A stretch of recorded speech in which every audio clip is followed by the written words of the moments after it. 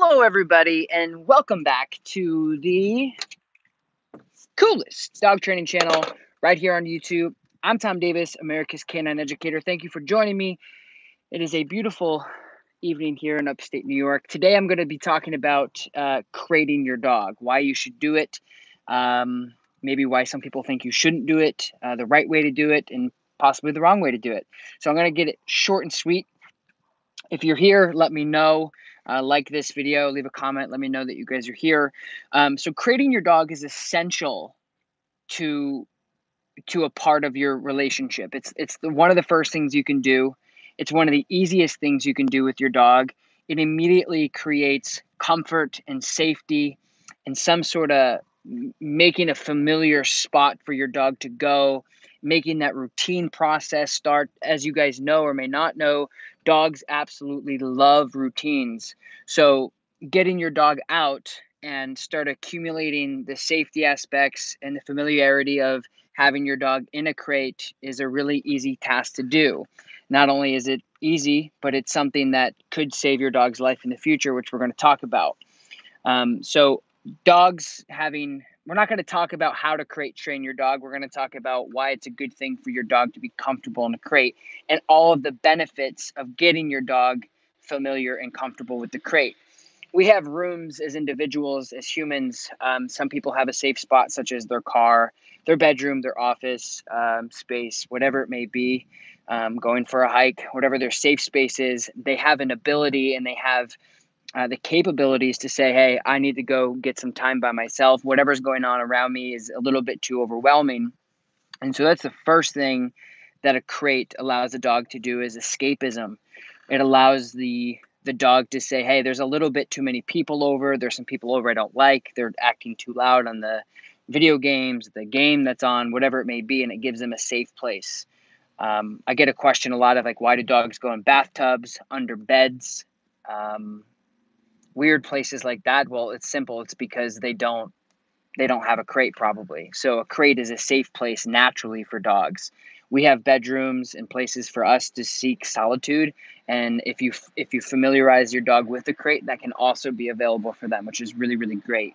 And when i'm talking about crate it could be anything from a wire crate to an impact crate to a Gunner kennel crate whatever your crate is even a bed at this point could be a safe place um, moving on, I want to talk about the crate not being introduced as a punishment tool. Um, a lot of times, it's the same concept of why dogs do not like to recall and bring things back. A lot of times, as humans, the only time we recall our dogs, or the majority of times we want something out of the dog's mouth, is if we want to take it away or if we go home. We want to leave this place. So, why would they want to come back to you and why would they want to drop the item to you if they know that you're just going to take it away and the fun's going to end? So very similar to that concept of the crate being a negative place or a punishment system it's not a very good um, system for for that for for you guys to do to your dog because it doesn't create clarity of like is the crate good is the crate bad? That's not to say that you can't put your dog in the crate if they do something wrong but the worst thing you could do with the crate is primarily use it as a punishment system to, to punish the dogs, meaning if they pee or poop or they chew up a shoe or a couch, you immediately yell them, Fido bad, you grab them, shove them in the crate. Now they're associating the crate with um, something negative or a punishment system, which is something I wouldn't suggest for the reasons I'm going to tell you in the future, which is going to make your life with your dog a lot better, um, a lot less stressful. Listen, I run a I run a a big daycare facility here too. Uh, I see a lot of stuff with dogs and their relationships and how stressful it can be for them if they're not associated with the things we are talking about in this video. So um, again, punishment should not be introduced with the uh, ecosystem of the crate because it creates that negative effect. Um, you want the crate area to be that safe haven, a place for them to rest, a place for them to set them up for success in the future. Um, meaning, if you guys are having people over, you have a reactive dog, you have a fearful dog, you have an aggressive dog, you have uh, any types of any type of dog that really doesn't like people, or you're unsure of the, how that dog's going to act. If you have a new dog that you just recently adopted, if you have a foster dog, if you're not sure, having and again, we're talking about making the crate comfortable and the benefits of that So if your crate is a comfortable place and a place where your dog goes to and says, "I'm cool, I'm I'm good with here, I'm Gucci with this," then you can do things such as Uncle Frank's coming over, he's loud, the Bills are playing, um, or the Chiefs are playing. Shout out P Mahomes. Um, you could take the dog and then put it into a crate, and you could take the dog and um, set it up for success. But hey, hey, chew on this bone instead of chewing on Uncle Frank. Um, the mailman's there, the painters are there, the drywall guys are there, the whatever it may be. Say, hey, buddy, go to your crate. Okay, sure, fine. Boom, they get in there. You give them a treat. You give them a cookie. You throw the blanket over them. They sleep. Done. End it. Um, so again, having the crate association at an early age will help you navigate and dictate the success of your dog regardless of the circumstances of the outcome behavior meaning um, if you do this at an early age as a puppy or when you first get your dog in your new routine with the dog again if you guys are here leave some comments below. Let me know you guys are here.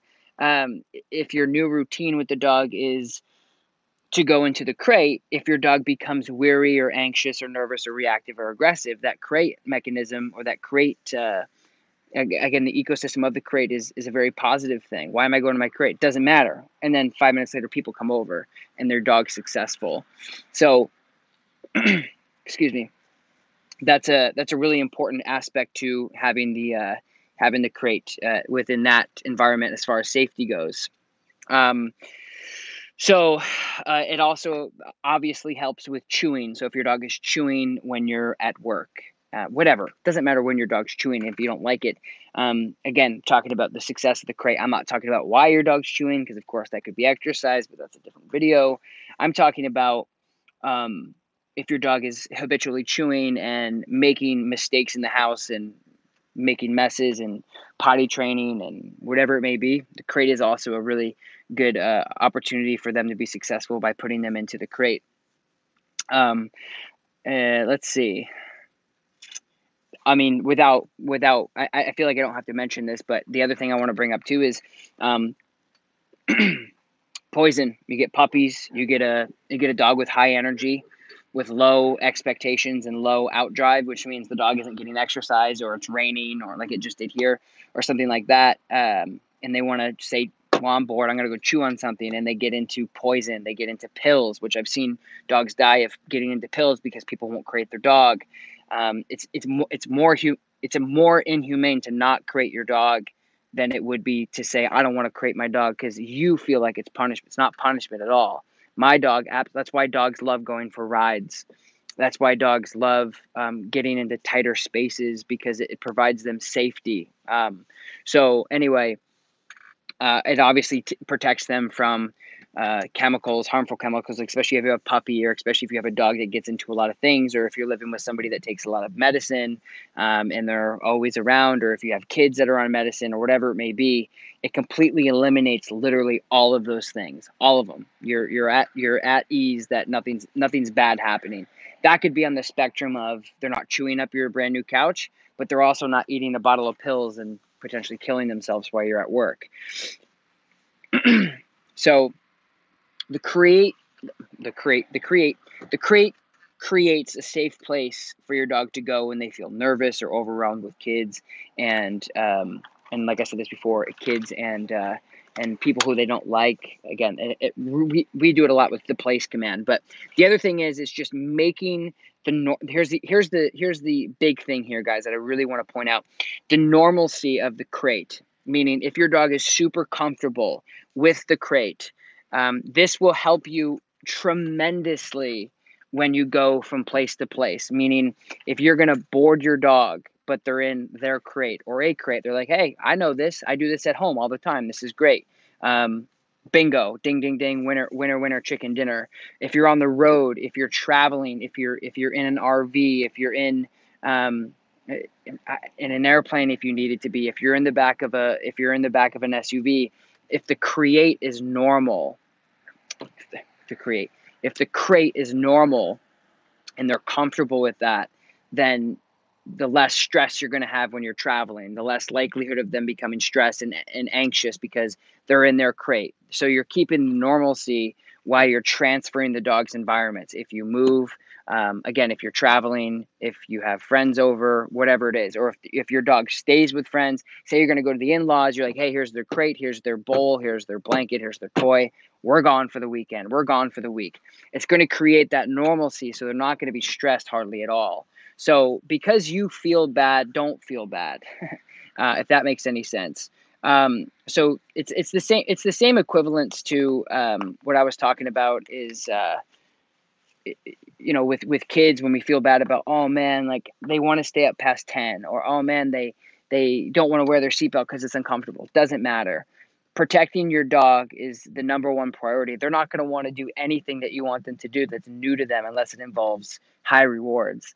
So don't be afraid to start introducing the crate making it a positive thing. Uh, we can talk about that in the comments below um, and i'll answer those questions. But uh, that's that's that's the really that's the really important thing about creating your dog is it is such a valuable thing that you guys can do throughout your dog's life getting a new dog getting a new puppy um, whatever it is. I mean it really creates that um, that energy or sorry that energy. It really creates that that relationship that you can um, that you can use throughout the throughout their relationship. So um, i did have one one quote that i wanted to talk about um, that I have in my notes somewhere.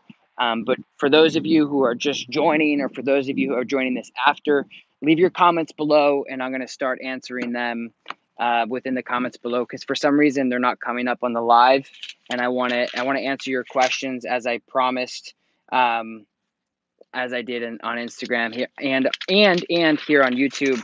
Um, if you haven't yet, again, support the YouTube channel by liking, subscribing to this video um, or to my channel. I can't find it. But anyway, I hope everyone's doing really well. The video that we did with the out of state from Philadelphia's next episode is coming out tomorrow. We had a gap with the uh, with the editing process, and so that video is dropping tomorrow. Again, if you guys have questions, leave them in the comments below. Like this video. Let me see really quick if I can find that quote that I did.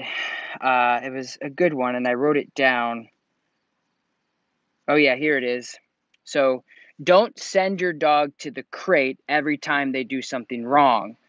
Crate your dog before they actually do it. That's the quote, or something like that, which essentially means put your dog in a crate if you're going to potentially set them up for failure because that's what crates are invented for it's to keep it's not to trap dogs and make them i mean some people do that because they're scumbags but that's not what we're talking about here so don't be afraid to crate your dog um, it really really helps out with a lot of different things such as anxiety uh, stress aggression um, obedience safety relationship etc gives them a safe place as well so I hope this video was valuable. Again, I can't see any comments on this live feed. They may be turned off for some reason. I'm not sure. But if you guys are asking comments and questions, I can't see any of them. So once this publishes, leave your comments below. I'll spend the next hour answering your questions here on YouTube. See you, Zach. Um, I appreciate you guys watching. I appreciate you guys supporting me, and we're gonna have some uh, videos coming up here uh, in the next couple days, which I'm excited about with some some more aggressive German Shepherds. Go figure. I'm Tom Davis, America's Canine Educator, and I will talk to you next time. Peace. Thanks, guys.